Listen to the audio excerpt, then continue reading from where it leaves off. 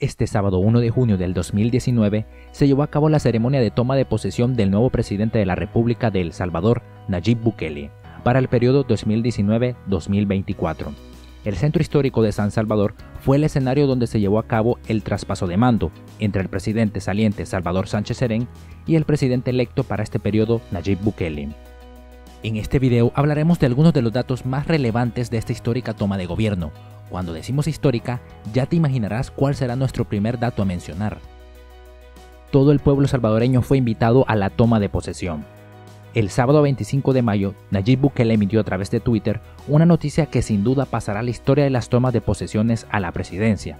Sí, hizo una invitación extendida a todo el pueblo salvadoreño a la toma de posesión en el centro histórico de San Salvador, Cabe mencionar que las tomas de posesiones se han llevado a cabo en el CIFCO, Centro Internacional de Ferias y Convenciones, anteriormente. Presencia de dos miembros religiosos. En esta toma de posesión no podemos dejar pasar un dato muy relevante. Es la primera vez en la historia de El Salvador donde en el acto de toma de posesión se tomaron en cuenta dos líderes de dos entes religiosas.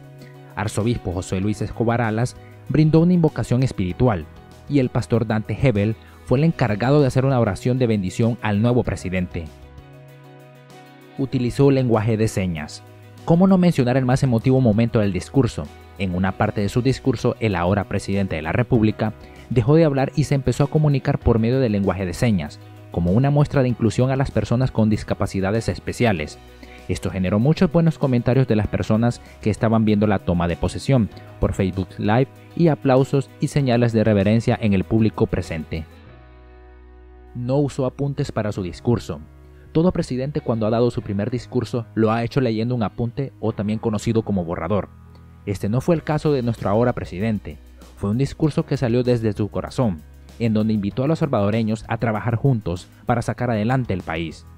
La toma de posesión fue transmitida desde su página de Facebook por medio de Facebook Live, donde muchos salvadoreños dentro y fuera del país pudieron presenciar este acto importante como otro dato relevante, cabe mencionar que Nayib Bukele se ha convertido en el mandatario más joven de El Salvador, con tan solo 37 años de edad y ha incluido a 8 mujeres y a 8 hombres en su gabinete de gobierno.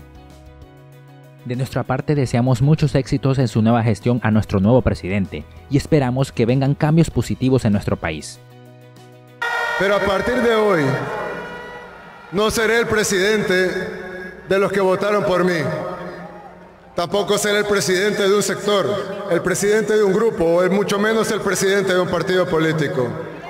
Ser el presidente de todos los salvadoreños, de uno y cada uno de los salvadoreños, los 7 millones, los 7 millones de salvadoreños que viven acá y los 3 millones que viven afuera, de los 10 millones de salvadoreños, los representaré a cada uno de ustedes, a uno y cada uno de los salvadoreños diseminados por todo el mundo.